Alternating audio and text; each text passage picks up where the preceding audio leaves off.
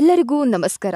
ನಾಳೆ ಏಪ್ರಿಲ್ ಒಂದನೇ ತಾರೀಕು ಗುರುವಾರದಿಂದ ಈ ಆರು ರಾಶಿಯವರು ಕುಬೇರ ದೇವರ ಕೃಪೆಯನ್ನ ಪಡೆಯಲಿದ್ದಾರೆ. ಹಾಗಾದ್ರೆ ಆ ಆರು ರಾಶಿಗಳು ಯಾವುವು ಎಂದು ನೋಡೋಣ ಬನ್ನಿ. ಅದಕ್ಕೂ ಮುನ್ನ ನೀವು ಕೂಡ ಕುಬೇರ ದೇವರ ಭಕ್ತರಾಗಿದ್ದರೆ ತಪ್ಪದೆ ಈ ವಿಡಿಯೋವನ್ನ ಲೈಕ್ ಮಾಡಿ.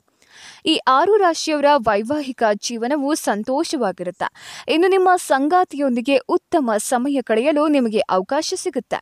ಹಣದ ಬಗ್ಗೆ ಹೇಳೋದಾದ್ರೆ, ಇಂದು ಹೆಚ್ಚು ಖರ್ಚುಗಳನ್ನು ನಿಯಂತ್ರಿಸಬಹುದು. ನಿಮ್ಮ ಬಜೆಟ್ ಪ್ರಕಾರ ಖರ್ಚು ಮಾಡೋದು ಉತ್ತಮ.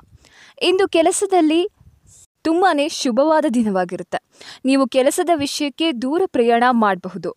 ದೀರ್ಘಕಾಲದಿಂದ ಮನಸ್ಸಿನಲ್ಲಿಯೇ ಹುದುಗಿರುವ ಆಸೆಯೊಂದನ್ನು ಇಂದು ಪೂರೈಸಬಹುದು. ನೀವು ಅವಸರದಿಂದ ಗಾಡಿಯನ್ನು ಚಲಾಯಿಸಬೇಡಿ.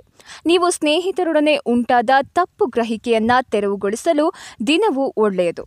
ಕಾರ್ಯಕ್ಷೇತ್ರದಲ್ಲಿ ಇಂದು ಏನಾದರೂ ಸಕಾರಾತ್ಮಕ ಸಾಧ್ಯತೆ ಇದೆ.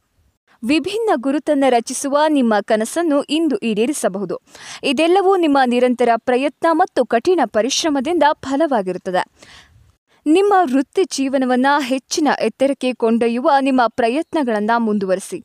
ನಿಮ್ಮ ಪ್ರೀತಿಯ ಜೀವನದ ಬಗ್ಗೆ ಹೇಳೋದಾದರೆ, ನಿಮ್ಮ ಪ್ರೇಮಿ ಅಥವಾ ಗೆಳತಿಯಿಂದ ತಪ್ಪು ಗ್ರಹಿಕೆಯನ್ನು ತೆರವುಗೊಳಿಸಲು ಇಂದು ಸರಿಯಾದ ಸಮಯ. ಗೆಳತಿಯಿಂದ ತಪ್ಪು ಗ್ರಹಿಕೆಯನ್ನು ಸರಿಪಡಿಸ್ಕೋಬಹುದು.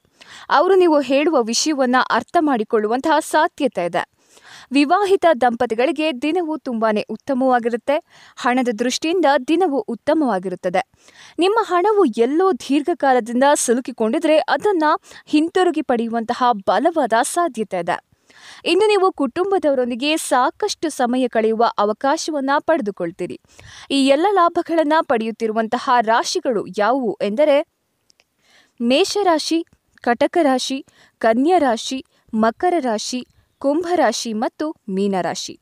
ಇದರಲ್ಲಿ ನಿಮ್ಮ ರಾಶಿ ಇದ್ದರೂ ಇಲ್ಲದಿದ್ದರೂ ಓಂ ಕುಬೇರ ದೇವ ಎಂದು ಕಮೆಂಟ್ ಮಾಡಿ ತಿಳಿಸಿ. ಧನ್ಯವಾದಗಳು.